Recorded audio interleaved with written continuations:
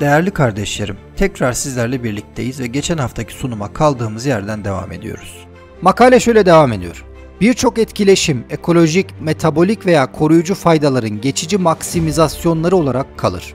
Bakınız, faydadan ve maksimizasyondan yani bir amaca ulaşmak için en akıllıca, en hikmetli ve verimli olanı yapmaktan bahsediyor. Fayda gözetmek, amaçsallık ve maksimizasyon elbette ve şüphesiz aklın, zekanın, ilmin yansımasıdır. Halbuki bu puzzle parçalarında bu sıfatların hiçbiri yok. Peki kimdir bu sıfatların sahibi? Hiçbir sıfat mevsufsuz olamaz, gündüz güneşsiz olamayacağı gibi. Bir yerde ilim varsa alim var olduğu içindir. İlim kendi kendine var olamaz, ilmin varlığı alimin varlığına delildir. Makale şöyle devam ediyor. Bir mikrobiyal simbiyontun konakçının hücreleri içinde yaşadığı köklü endosimbiyozlarda bile seçilim her bir türü genellikle ortaklarının zararına olan yönlerde evrimleşmeye iter. Biz değişmeye diyelim doğrusunu söyleyelim. Böyle evrimleşme olmaz zaten. Bakınız endosimbiyozda bırakın yeni ve daha kompleks bir tür oluşmasını, bilakis bir müddet karşılıklı yarar sonrası zarara uğrama ve gerilemeden bahsediyor ki bundan bahsettiği halde evrimleşme diyor.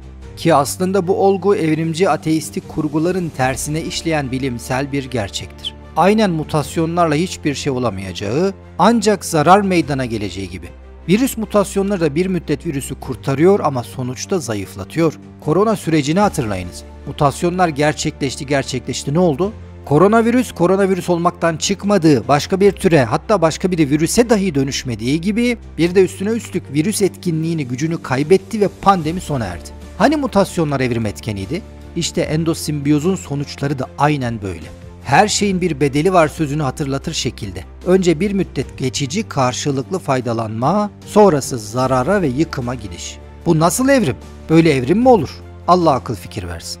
Makaleden okumaya devam edelim. Simbiyontlar için sonuçlar arasında tuzağa düşme, genetik el koyma, genom azalması, özellik kaybı, dışarı atılma ve sindirilme yer alabilir. Evet, Endosimbiyozun sonucu neymiş? Bir müddet karşılıklı faydalanma sonrasında genom azalması ve sindirilme gibi yıkıcı durumların ortaya çıkmasıymış. Nerede yeni bir tür oluşumu? Nerede evrim? Nerede endosimbiyoz gerçeği? Nerede evrim ağacının iddiaları? Makaleden son olarak şu çarpıcı cümleyi de okumak istiyorum. Simbiyotik sonuçların altında yatan mekanistik biyoloji büyüleyici, fascinating diyor. Bakınız hem mekanistik biyoloji diyor yani mekanizmayı, sistemi, düzeni itiraf ediyor. Dolayısıyla her akıl sahibinin kolayca idrak edeceği gibi bu muazzam biyolojik makinelerin ve mekanizmaların kurucusu makine mühendisini ilmi sonsuz Allah'ın varlığını ders vermiş oluyor. Celal Şengör ve Evrim Ağacı gibi materyalistlerin kainatta hiçbir düzen yok abi diyerek savundukları kaos, rastgelelik iddialarını yalanlıyor. Bilim bu hezeyan boyutundaki komedi kaos iddiasını iddia sahiplerinin yüzlerine defalarca çarpıyor. Makalede hem de büyüleyici diyerek hayranlığını ifade ediyor ama kime hayran olacağını da bilemiyor. O hayranlık doğa ve biyoloji denilen mekanistik harikanın ustası olan yaratıcıya verileceği yerde yine doğanın kendisine veriliyor maalesef. Kitaba hayran olunuyor ama o harika kitabın harika yazarı ısrarla görmezden geliniyor. Binler yazıklar olsun bu gördüğü halde görmezden gelen kör zihniyeti.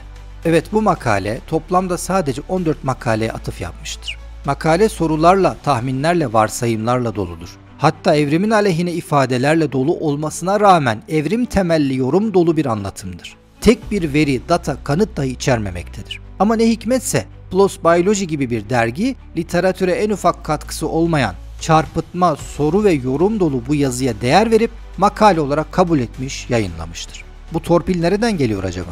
Cevabı ortada. Evrim Ağacı videosunu incelemeye kaldığımız yerden devam ediyoruz.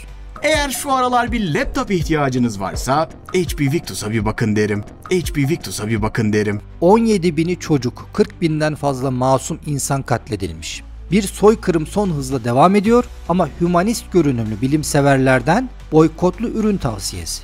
Bravo. Son derece duyarlı bir yaklaşım. Gerçi o Gazze'de öldürülenler insan değil, insansı hayvanı değil mi? Videolarınızda öğrettiğiniz şu insansılar gibi mi? Gerçi siz hayvan sever de geçinirsiniz. Demek Gazze'li insanların o kadar da değeri yok gözünüzde.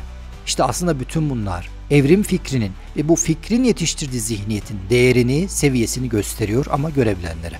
Dolayısıyla milyonlarca batılı gayrimüslimin bile hassasiyet gösterdiği boykotu ihlal eden bu reklam bu zihniyete yakışır. Bir paradoks söz konusu değildir yani. Bu konunun devamını önümüzdeki hafta sizlerle paylaşacağız inşallah. Görüşmek temennisiyle kalın sağlıcakla.